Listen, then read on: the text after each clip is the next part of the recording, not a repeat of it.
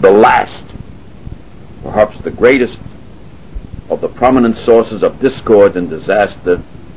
supposed to lurk in our political condition was the institution of domestic slavery. Our forefathers were deeply impressed with the delicacy of this subject, and they treated it with a forbearance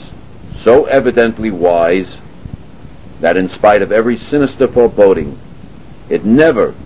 until the present period, disturbed the tranquility of our common country.